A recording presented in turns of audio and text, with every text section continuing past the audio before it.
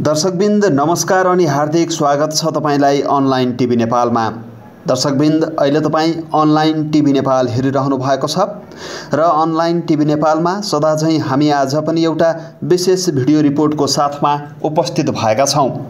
आजको विशेष भिडियो रिपोर्टमा हामी नायिका आनाको प्रेम प्रसङ्ग त्यस्तै गरी नेपालका सुपरस्टार बन्न सफल भएका दुईजना नायक सौगात मल्ल र दया हाङको खस्कँदै गइरहेको क्रेज त्यस्तै बितेको दुई हजार चौहत्तर सालका उत्कृष्ट दस चलचित्र यी विषयमा छलफल गर्नेछौँ भने इन्स्टाग्राममा एकदमै चर्चित रहेका पाँचजना नेपालका नायिकाको विषयमा पनि आजको यो विशेष भिडियो रिपोर्टमा हामी तपाईँलाई जानकारी दिँदैछौँ र अन्तिम विषयवस्तुको रूपमा पत्नी वियोगमा परेका नेपालका वरिष्ठ हास्य कलाकार मदन कृष्ण श्रेष्ठले आफ्नो जन्मदिन नमनाएको प्रसङ्ग पनि आज हामी तपाईँहरूमा आज प्रस्तुत गर्नेछौँ।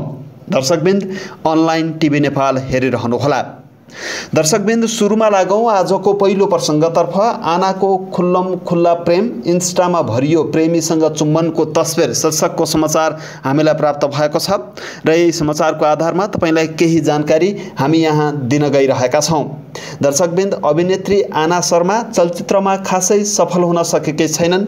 डेब्यू चलचित्र जेरीमा राम्रै चर्चा बटुलेकी आनाको दोस्रो चलचित्र ग्याङस्टार ब्लुज सफल हुन सकेन सामाजिक सञ्जालमा सक्रिय अभिनेत्री आनाको प्रेम जीवन खुल्ला किताब जस्तै छ जो कोहीले पनि सजिलैसँग थाहा पाउन सक्छ। मिडियामा प्रेमको विषयमा बोल्न नचाहने आनाको सामाजिक सञ्जालमा भने प्रेम खुल्लम खुल्ला हुने गर्दछ। सोनाम छिरिङ शेर्पासँग प्रेममा रहेकी आनाले शेर्पासँगको तस्बिर इन्स्टाग्राममा सेयर गरेकी छिन्।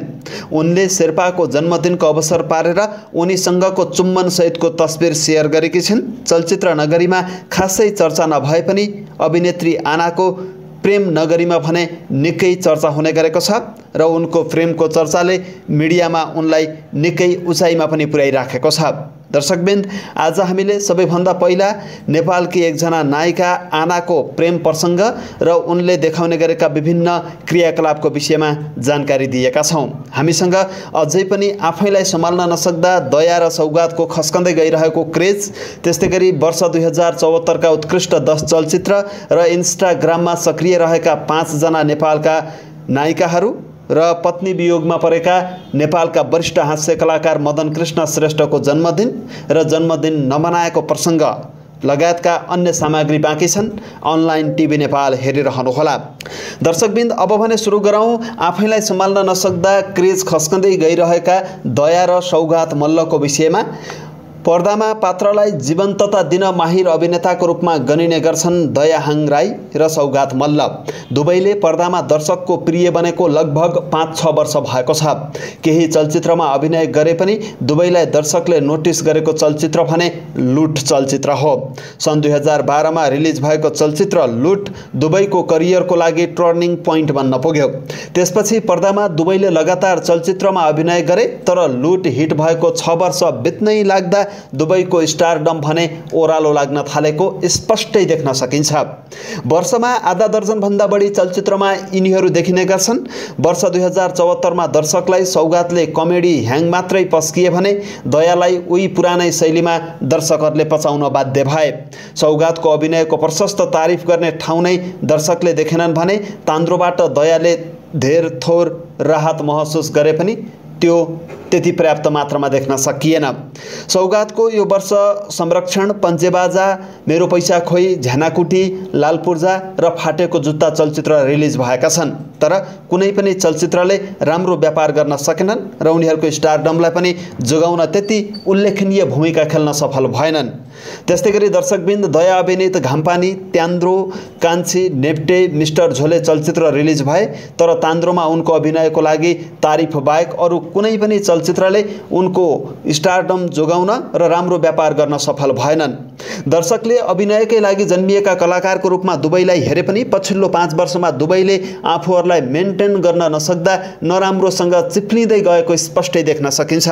लगातार पर्दामा देखिनु ब्रान्ड भ्यालु मेन्टेन गर्न नसक्नु अनि आफूलाई परिष्कृत गर्न नसक्नु दुबईको कमजोरी भएको धेरै जानकारहरू बताउँछन्।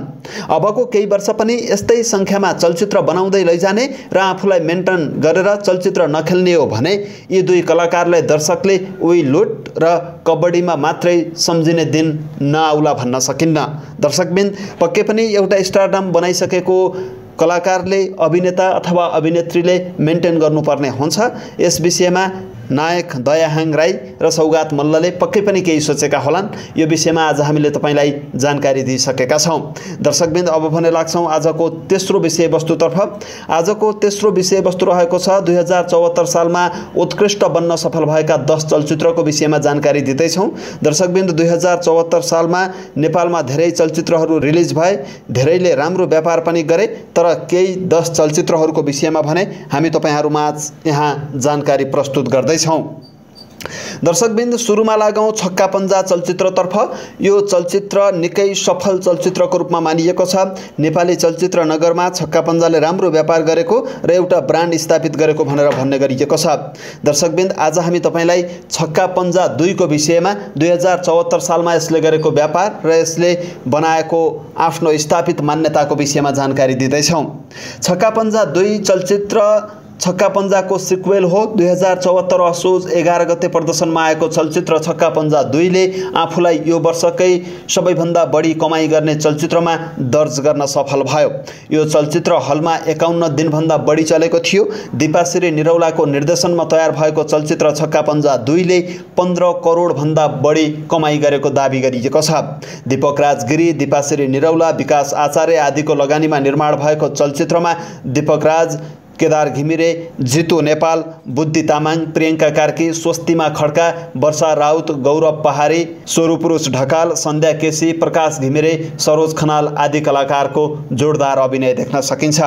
दर्शकबिन्द अब कुरा गरौँ क्री चलचित्रको। माघ छब्बिस गते प्रदर्शनमा आएको अनमोल केसी अभिनीत चलचित्र क्रीले आठ करोड रुपियाँको ग्रस कलेक्सन गरेको छ। सुरेन्द्र पौडेलले निर्देशन गरेको उक्त चलचित्र हलमा तिन सातासम्म चलेको थियो।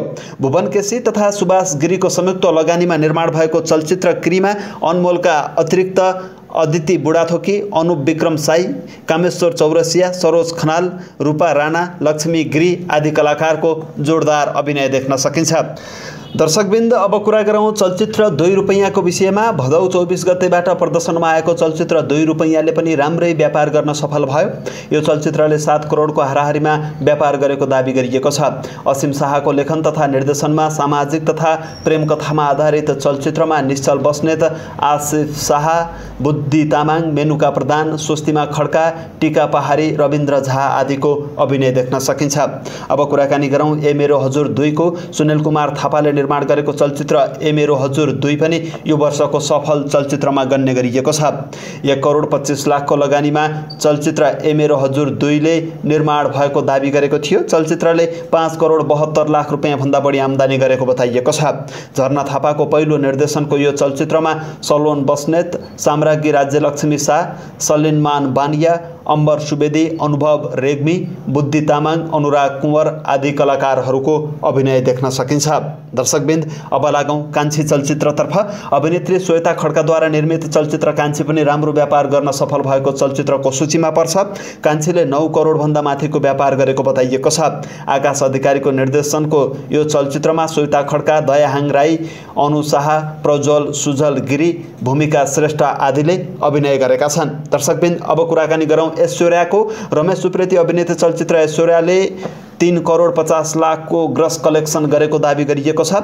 दिवाकर भण्डारीको लेखन तथा निर्देशनको यो चलचित्रमा रमेशका अतिरिक्त दीपिका प्रसाई केकी अधिकारी प्रशान्त ताम्राकार विकास खतिवडा अर्जुन श्रेष्ठ आदि कलाकारको अभिनय रहेको छ। दर्शकबिन्द अब कुराकानी गर्दैछौँ। म यस्तो गीत गाउँछु चलचित्रको। पल्सा र पूजा शर्माद्वारा अभिनीत चलचित्र म यस्तो गीत गाउँछुले पनि व्यावसायिक सफलता हात पार्न सफल भयो। सुदर्शन थापाको निर्माण एवं निर्देशनको यो चलचित्रले छ करोडको आम्दानी गरेको बताइएको छ। प्रेम कथामा आधारित चलचित्र म यस्तो गीत गाउँछुमा। पल र पूजाका अतिरिक्त सरोज खनाल रूपा राणा राजाराम पौडेल आदि कलाकारले अभिनय गरेका छन्। यो चलचित्रले राम्रो व्यापार गरेपछि चलचित्रकी निर्मात्री एवं अभिनेत्री पूजा शर्माले यसको सिक्वेलमा पनि पललाई नै अभिनय गराउने घोषणा गरिसकेकी छिन्। दर्शकबिन्द अब हामी तपाईँलाई जानकारी दिँदैछौँ प्रेम गीत दुईको। यो चलचित्र दुई हजार बहत्तर सालको सफल चलचित्र प्रेम गीतको सिक्वेल हो। दुई हजार चौहत्तर साल साउन तेह्र गते प्रदर्शनमा आएको चलचित्र प्रेम गीत दुईले पनि चलचित्र क्षेत्रमा राम्रै व्यापार गर्न सफल भयो। करिब दुई करोडको लगानीमा बनेको यो चलचित्रले आठ करोड आम्दानी गरेको दावी गरिएको छ। सन्तोष सेनको निर्माण तथा रामशरण पाठकको निर्देशनमा बनेको चलचित्र प्रेम गीत दुईमा प्रदीप खड्का अश्लेषा ठकुरी कैलाश कटुवाल कविता रेग्मी शिशिर भण्डारी कुमार कार्की श्रद्धा प्रसाई आदि कलाकारको अभिनय देख्न सकिन्छ। दर्शकबिन्द अब तपाईँलाई जानकारी दिँदैछौँ शत्रु गते चलचित्रको विषयमा। यो वर्ष व्यावसायिक रूपमा सफलता हात पारेको अर्को चलचित्र हो शत्रु गते। चैत्र नौ गते प्रदर्शनमा आएको चलचित्र शत्रु गतेले दोस्रो हप्तासम्म आठ करोडभन्दा माथिको कारोबार गरेको दावी गरिएको छ। सामाजिक प्रेम र कमेडी कथामा आधारित यो चलचित्रलाई प्रदीप भट्टराईले निर्देशन गरेका छन्। महसञ्चारले निर्माण गरेको यो चलचित्रमा हरिवंश आचार्य मदन कृष्ण श्रेष्ठ दीपकराज गिरी दिपाश्री निरौला पल शाह प्रियङ्का कार्की शिवहरि पौडेल किरण केसी रमेश रञ्जन झा आदि कलाकारहरूको अभिनय देख्न सकिन्छ। दर्शकबिन्द अब कुराकानी गरौँ मिस्टर झोले चलचित्रको विषयमा। रामबाबु गुरुङको निर्देशनको चलचित्र मिस्टर झोलेले पनि व्यावसायिक रूपमा सफलता हात पार्न सफल भएको बताइएको छ। एक करोड साठी लाखको लगानीमा निर्माण भएको चलचित्रले चार करोडभन्दा माथिको आम्दानी गरेको थियो। चलचित्र मिस्टर झोलेमा दयाहाङ राई वर्षा रावत दिया पुन विजय बराल बुद्धि तामाङ आदि कलाकारले महत्त्वपूर्ण भूमिका निर्वाह गरेका छन्। दर्शकबिन्द तपाईँ अहिले अनलाइन टिभी नेपाल हेरिरहनु भएको छ र अनलाइन टिभी नेपालमा आज हामी तपाईँलाई विशेष भिडियो रिपोर्ट प्रस्तुत गरिरहेका छौँ। विशेष भिडियो रिपोर्टमा तपाईँलाई हामीले दुई हजार चौहत्तर सालमा सफल भएका उत्कृष्ट दस चलचित्रको विषयमा जानकारी दिइसकेका छौँ।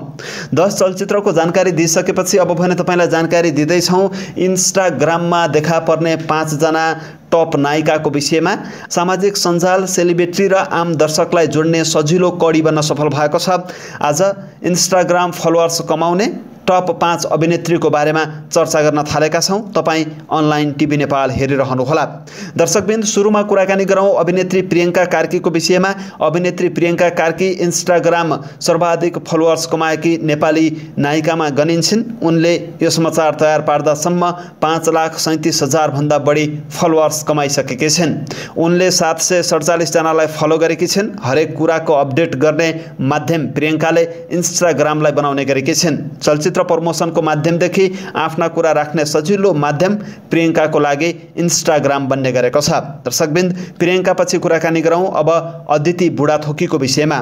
क्री चलचित्रबाट डेब्यू गरेकी अदिति बुढाथोकी भारतीय मोडल हुन् तर नेपाली चलचित्रमा डेब्यू गरिसकेपछि नेपाली चलचित्रको अभिनेत्रीको लिस्टमा उनी समेत अटाउन सफल भएकी छिन्। इन्स्टाग्राममा बोल्ड तस्बिर पोस्ट गरेकै कारण नै अदितिको चर्चा नेपाल र भारतीय मिडियामा उत्तिकै हुने गर्दछ। अदितिको इन्स्टाग्राममा तिन लाख पचासी हजार बढी फलोवर्स रहेका छन् भने उनले पाँच सय दसजनालाई फलो गरेकी छिन्। डेब्यू चलचित्रमा राम्रो हाइप बनाउन सफल भएकी अदितिले चलचित्रबाट सोचे जस्तो सफलता हासिल गर्न सकिनन्। हाल उनी मुम्बईमा बस्दै आइरहेकी छिन्। दर्शकबिन्द अब कुराकानी गरौँ सृष्टि श्रेष्ठको विषयमा। मिस नेपाल तथा अभिनेत्री सृष्टि श्रेष्ठ सुन्दरता र शालीनताको कारण चर्चामा रहने गर्दछिन्। त मिडियामा निकै शालीन रूपमा प्रस्तुत हुने उनी इन्स्टाग्राममा सक्रिय रहेकी छिन्। उनको इन्स्टाग्राममा तिन लाख एकासी हजार बढी फलोवर्स रहेका छन् भने उनले एक सय पाँचजनालाई मात्रै फलो गरेकी छिन्। डेब्यू चलचित्र गाजलुबाट निकै राम्रो चर्चा कमाएकी उनको दोस्रो चलचित्र भने अहिलेसम्म रिलिज हुन सकेको छैन। दर्शकबिन्द अब कुराकानी गरौँ स्वस्तिमा खड्काको विषयमा। सुन्दर इस्माइलको कारण नै निकै राम्रो चर्चा बटुलेकी स्वस्तिमाको चञ्चले स्वभावका कारण उनका फ्यानहरू पनि उत्तिकै बढ्दै गइरहेका छन्। निश्चल बस्नेतसँग विवाह गरेर झन बढी चर्चा कमाएकी स्वस्तिमा पछिल्लो समय एकपछि अर्को चलचित्रमा व्यस्त रहेकी छिन्। उनको इन्स्टाग्राममा तिन लाख सत्ताइस हजार बढी फलोवर्स रहेका छन् भने उनले एक सय सोह्रजनालाई फलो गरेकी छिन्। दर्शकबिन्द अब हामी कुराकानी गर्छौँ। साम्राज्ञी राज्यलक्ष्मी शाहको विषयमा। युवा पुस्ताकी हट केक अभिनेत्री साम्राज्ञी राज्य लक्ष्मी शाह इन्स्टाग्राममा निकै सक्रिय छिन्। हरेक कुराको अपडेट इन्स्टाग्रामबाट दिने साम्राज्ञीलाई दुई लाख सत्तरी हजार बढीले फलो गरेका छन् भने उनले एक हजार एक सय चारजनालाई फलो गरेकी छिन्। पछिल्लो समय उनी लगातार चलचित्र छ्याङ्कनमा व्यस्त रहेकी छिन्। दर्शकबिन्द अहिले तपाईँ अनलाइन टिभी नेपाल हेरिरहनु भएको छ र अनलाइन टिभी नेपालमा तपाईँलाई सदा झैँ आज पनि हामी एउटा विशेष भिडियो रिपोर्ट प्रस्तुत गरिरहेका छौँ। विशेष भिडियो रिपोर्टमा हामीले तपाईँलाई भर्खरै मात्रै इन्स्टाग्राम मोहमा रहेका पाँचजना टप नेपाली अभिनेत्रीको विषयमा जानकारी दिएका छौँ। र आजको अन्तिम विषयवस्तु प्रस्तुत गर्न चाहन्छौँ आजको अन्तिम विषयवस्तुको रूपमा रहेको छ अडसट्ठी वर्ष पार गर्दै गर्दा मदन कृष्ण श्रेष्ठले जन्मदिन भने मनाएका छैनन्। पत्नी वियोगमा परेका मदन कृष्ण श्रेष्ठले यो वर्ष जन्मदिन नमनाएका हुन्। यस विषयमा हामी तपाईँलाई केही जानकारी दिन चाहन्छौँ। दर्शकबिन्द वरिष्ठ हास्य व्यङ्ग्य कलाकार मदन कृष्ण श्रेष्ठको वैशाख पाँच गते जन्मदिन हो। यो सालदेखि उनी अडसट्ठी वर्षमा प्रवेश गरेका छन्। पत्नी पत्नी वियोगका कारण मदन कृष्णले आफ्नो जन्मदिन भने मनाएका छैनन्। मदन कृष्णले आफ्नो कलाकारिता करियरमा हरिवंश आचार्यसँगको सहकार्यमा महजोडी बनाएर दर्जनौँ सम्झन लायक चलचित्र तथा टेली चलचित्रहरूमा अभिनय गरिसकेका छन्। दसैँ रात वनपाले सुर कान्तिपुर जस्ता महका टेलिफिल्म दर्शक दीर्घमा अझै पनि ताजा रहेका छन्। चलचित्रतर्फ राजामती वासुदेव के घर के डेरा ट्रक ड्राइभर बलिदान सुख दुःख र प्रदर्शनरत चलचित्र शत्रु गतेमा मदन कृष्ण श्रेष्ठको अभिनय देख्न सकिन्छ। मदन कृष्ण यति बेला पत्नीको शोकमा छन्। क्यान्सरका कारण पत्नी यशोदाको सडसठी वर्षको उमेरमा निधन भएको थियो। पत्नी शोकका कारण उनले आफ्नो अडसठौँ जन्मदिन मनाएनन्। दुःखद घडीमा रहेका मदन कृष्ण श्रेष्ठलाई जन्मदिन र दीर्घायुको कामना गर्न चाहन्छौँ। दर्शकबिन्द आज हामीले तपाईँलाई विशेष समाचार सामग्रीहरू सङ्घालेर एउटा विशेष भिडियो रिपोर्ट प्रस्तुत गरेका छौँ। आनाको प्रेम प्रसङ्गको विषयमा तपाईँलाई जानकारी दिएका छौँ भने खस्कँदै गइरहेको दयाहाङ राई र सौगात मल्लको क्रेजको विषयमा पनि तपाईँलाई जानकारी दिएका छौँ। त्यस्तै गरी वर्ष दुई हजार चौहत्तरका उत्कृष्ट दस चलचित्रको विषयमा जानकारी दिइसकेका छौँ भने इन्स्टाग्राममा सक्रिय रहेका टप पाँच नेपाली अभिनेत्रीको विषयमा तपाईँलाई जानकारी दियौँ। र अन्तिम जानकारीको रूपमा अडसट्ठी वर्षका मदन कृष्ण श्रेष्ठले जन्मदिन नमनाएको प्रसङ्ग पनि तपाईँहरूमा आज प्रस्तुत गरेका छौँ। दर्शकबिन्द आजको यो सामग्री तपाईँलाई कस्तो लाग्यो? कृपया प्रतिक्रिया दिन सक्नुहुनेछ। त्यसको लागि तलको कमेन्ट बक्समा कमेन्ट गर्नुहोला। र अरू सामग्री हेर्नको लागि हाम्रो YouTube channel online TV Nepal subscribe गर्नुहोला। हस् नमस्कार।